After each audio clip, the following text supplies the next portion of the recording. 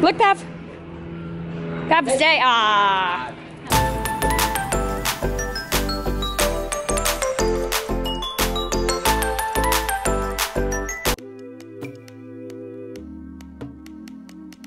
Hey, Pavlovs! Welcome back to Pavlogs! Yay! Today, we wanted to talk to you about some tips we have on capturing that picture-perfect moment of your dog for Instagram. As you know, we are on Instagram, which is a very visual platform. And if you didn't know, before we had Pavlov, we had no photography background. We really had our Instagrams ourselves were pretty trash. Um, Hey! Speak for yourself! mine was pretty trash. Um, but we really knew nothing about taking photos, um, editing photos, what to look for, and we learned a lot through trial and error. Since we really learned on the fly and have no formal training, we wanted to share with you all some of the things that we keep in consideration when we go and take photos of Pav. Yay! So we hope this video is helpful. And now we're gonna start the video. Oh my god. Why are you guys matching? That's weird. Are you matching? We're basically triplets. Three peas in a pod. Dude, what the heck? What are you doing? Did you... I don't know what's going on. See what it looks like when you do it? It's kinda weird. It's weird. Hey Pavlovs! So today we are going out and um, making some content for Pavlov. I saw Pav put on his denim jacket, so I put on my denim jacket, and then Pav Dad put on his denim jacket. But I would like to say that I was second. Come on, Pav. It's okay. It's okay. Go, go, go. I'm on the other side. Um, so we actually went downtown to Santa Barbara to get some shots of Pavlov so we can show you a little bit about our process and what that looks like. But before we even get on to traveling downtown and driving down there and getting started, um, the first thing you want to do is Is be really intentional about what you do.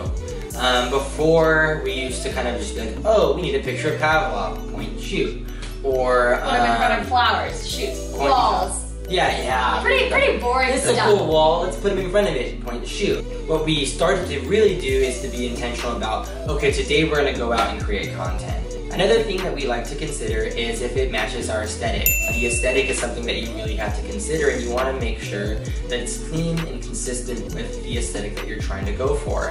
Um, so for us, we like to minimize the amount of clutter in the image. And so we used to think that this just means like white walls or just like kind of blank backgrounds. Um, but it really is just having minimal distractions in terms of people, minimal distractions in terms of figuring out what the focus of the picture is. Keep it clean.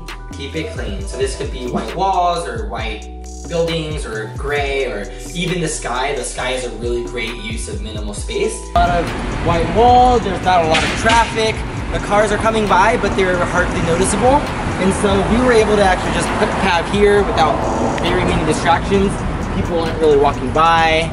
And uh, just boom, boom, boom, take a quick shot. Our aesthetic might be different than your aesthetic. And um, it's really important that you consider um, the content that you would like to create and the considerations around that. We've actually never even taken a photo here, even though we've been by here many, many times. As you can see, there's already some people out there trying to take a photo here. We're gonna wait for some people to get off the stairs so we Yeah. can take our cool photo, right, Pav? Yeah. I think we could go on the left. Number two is also be prepared. Keeping in consideration what you need in order to capture the shots that you want, not just, I'm gonna go out and shoot.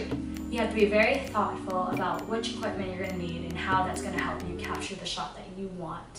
Can't say that enough because there have been so many times where I realized I wanna go shoot and my camera is dead, so that takes a few hours to charge. Or Another thing that's happened is I go out and shoot, I'm ready, I'm prepared, and then my memory card is full. So our Pixel is our camera phone that we use just in case um, we want to get different angles, in case our battery dies and our camera is not functioning properly. We have a backup camera that we can take this. So other things to consider are other lenses you might have. So I have a 35 millimeter lens just in case I want to do more portraiture. Another thing is bringing um, the proper leash. So Pavlov is usually on a harness because he has a sore back sometimes, so we like to use a harness for more support. But when we take photos, we use a slip knot leash, so that just goes over his head pretty quickly and you can take it off pretty quickly, even faster than a collar. Um, so we recommend using that for any photography dog shots because it makes the process very easy to transition. Also a reminder to bring any props, so a cute hat for Pav or a cute jacket. So if you want to make more variable shots and like making the photos a little different, remember to bring some props. So if you have ever tried to take a picture of a dog, you would understand how hard it is to actually take the picture of the dog. Wow. Good. Now look. Look, Pav. Pav, stay. Ah. Even if you have the photography stuff down and mastered and you have the perfect kind of location and whatever, if you want to take a picture of the dog, you have to make sure that the dog is ready to take the photo. Yeet. we actually have spent so much time training Pavlov. We recognize that if we want him to take pictures, we're gonna have to actually teach him how to do it. So the next thing that we do is like to put Pavlov or position Pavlov where um, we want him to take the photo. Um, essentially the posing part. And so sometimes it is having him sit and stare at us. Sometimes we want him to stand. Sometimes we want him to do like a freeze or sometimes- Or smile. Smile, lay down, look in a different direction. Um, sometimes we put him on a staircase and he has to awkwardly be like face down, like coming down the stairs, or we want him to turn around and we want to see his butt.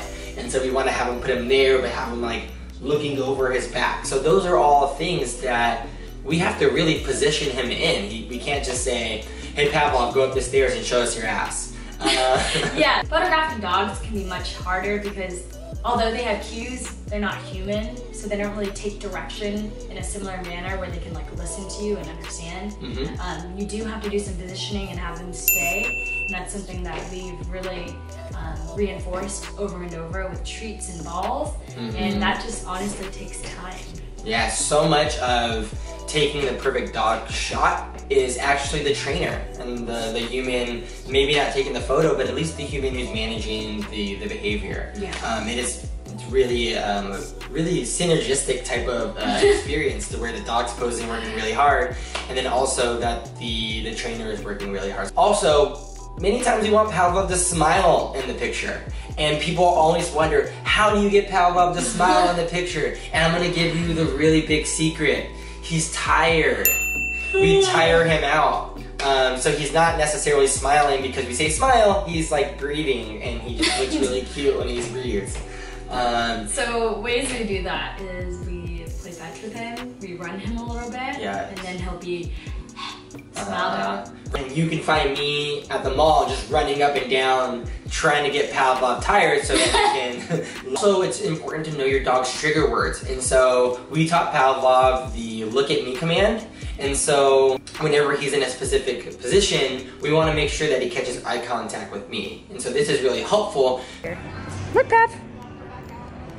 Good. We can say look at me with the finger over here and then Pavlov will kind of know that that's my command to look at the camera. Something that I forgot too is that um, in training them to stay, it's really, um, really helpful to have a break word. And so when Pavlov is sitting there posing for a photo, he will stay there for the most part until we say touch. And when we say touch, he breaks from the position that he's at, comes and touches my hand, and then he earns a treat. And that's really great because he knows that there's a start and end to the trick of staying, as opposed to I'm gonna sit here indefinitely and take a photo. That's really helpful for getting him to stay there for a long period of time. But we say touch, and then he'll come and then touch my hand. Or- There are also some trigger words, um, aside from maybe like a command. Pavlov doesn't like the sound. He also doesn't like the word ow. So if you go ow, he doesn't like that. So it'll get his attention. So those are little tricks that we have to get Pavlov's attention um, when we're taking a photo.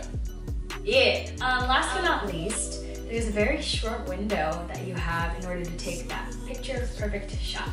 One, before you take your dog off leash and pose them, look for a perfect angle. So I go from down below, I go left, I go right, I figure out where I want to shoot and which angles I want before I even place Pavlov and get him off leash. So before we even start um, posing Pavlov and keeping him somewhere still, we get ourselves ready and our camera ready and making sure we're set before we even take the photo. Be intentional, be quick, and be thoughtful are our last tips for you guys in shooting your dog.